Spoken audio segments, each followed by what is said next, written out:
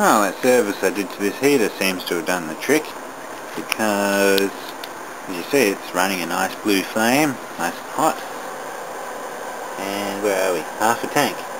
Beforehand, it would have just been heating up the spring. So, much better. I'll still get a new wick for it soon, but it's no real need because it's working fine. And yeah, with the fiberglass wicks you got to burn them dry every now and again just to get rid of the balls of tar and all that other crap on them. And they work nicely again. Well, today I'm doing the sway bar bushes on this Mercedes because they're a little bit sad. As you can see they're up against the firewall on this one. One's behind the brake booster. Yay! I've already got them out. The battery goes here normally. I've got one out.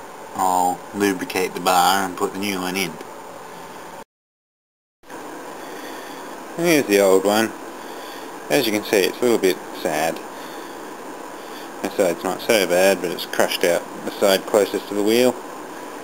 So, and these are very important to the handling of the car. So always check these in the W123 models and later. Well, I've greased the shaft and fingered the hole until it's nice and wet. And always remember to use non-oil based grease. There we go, nice new bushes in place. Well, I got everything out, now I'm going to wash all the side here out. Because you can't see all that muck underneath the battery. And if you let that rust out, well, that kills the car. Now I've got to do the fun side you got to undo the booster from underneath the dash. Oh, there we go. There's the driver's one done. so, i got to change the master cylinder anyway, so, yeah. I figured while I had the battery tray out, I'll wash out all of this area. I've already done behind where the booster is, so it's all nice and clean. Yeah, there should be a drain down there. Oh, there we go, that's much better. Someone's done some sort of repair there, or tried to stop water getting in the cabin. Just put sort of putty stuff around the place. To stop getting uh, water in the cabin. Just put it on rubber. But yeah, the drain hole was quite blocked. so it's all clean now. can put the plastic cover on there. Um, yeah, because all the water from the windscreen and everything goes down that corner. And that was just, as you saw before, it's like a dry creek bed. It's pretty bad. It's made a mess of the driveway, I tell you. And here's the driver's side. That was like a compost bin in where the spring was, or is. And down there was just absolutely filthy, but cleaned out the drain hole, and it's all clean now. That should make the car last longer. Well, since I had to take the brake booster off to do the other job, the bush, um, might as well make it look a bit better. It looks shitty. It makes the whole engine bay look shitty. So I'll see what I can do with it. Well, the battery tray is looking a bit sad. I figure I'll make that look a bit better too. Well, I gave the booster a bit of a paint. Now I've just got to get the master cylinder and put that on and it should all be good.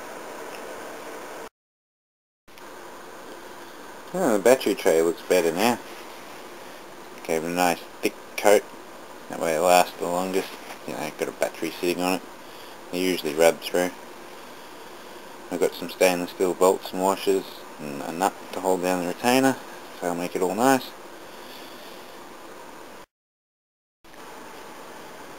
Well, there we go. Makes a world of difference, just a lick of paint. There's no point putting something all rusty and yuck looking back in. Even the new bolts make it look better. So, yeah. Well, I noticed that the gear selector in this car was awfully sloppy. Didn't feel like it was connected to the gearbox quite well. So I pinged gear selector bushes. That's what these things are. There's two of them on the rod underneath. That's all that was left on the rod. Half of one of them. So it wasn't doing anything. So it was almost in the point where you couldn't get it to go to park. It would stay in reverse, even if you put it in park. So when I get these buggers in I'll show you where they go. Well, that's where the selector bushes go. I didn't have any before. There's one there and where is it? There's one there. They're both missing. So I didn't really feel like the selector was connected to anything. Now it should be nice. That's not very good for the gearbox, sort of being half in a gear. And it's kind of dangerous because you might try and put it in park and get reverse. So, yeah, that's all fixed now. I'm going to send the calipers off for full reco because they're just old and stiff. Um, as you can see the pads are pretty fucked. Yeah, I'll get a good close-up.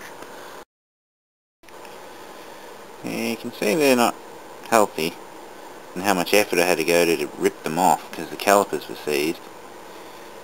It's, um, let's go through the list. This one's not hit the sensor yet, but you can see how worn the discs are because the lip on the discs hit the sensor. That's not good. That one's start, starting to disintegrate.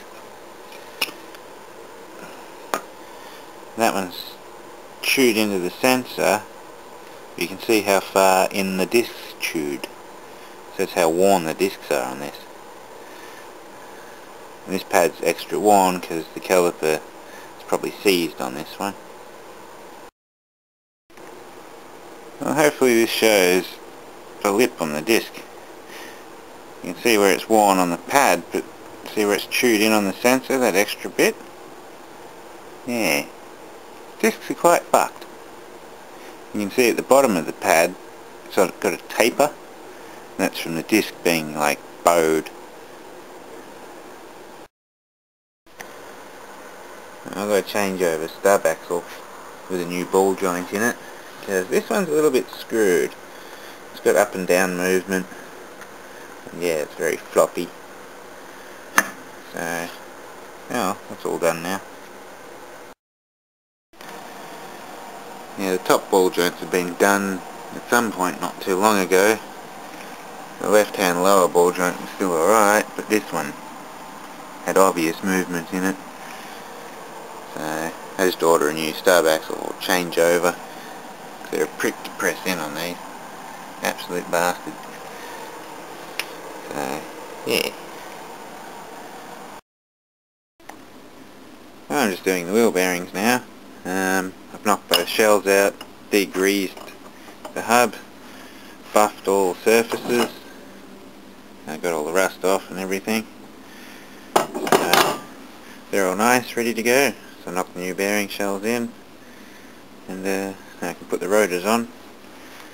So yeah, I hate it when people don't machine these or buff these surfaces where the rotors go. It just screws everything. So you got to make them nice and shiny. Well, it's looking pretty good now. Got reco master cylinder. Um, all the brakes are working now. Battery's in. Battery tray looks good. The whole engine bay looks good now. So I just got to put the air conditioning compressor on and the air filter and it's pretty much done. Still got to give it an auto service but I think that'll be in a week's time. Yeah, all new discs, reco calipers, wheel bearings, pads, new lower ball joint on this side. Just got to knock the dust caps on properly when you put the wheels on. Yeah, all nice. Yeah, came up good. cool. Hmm. I managed to get my hands on a good second-hand oil gauge pipe. Quite right for the car.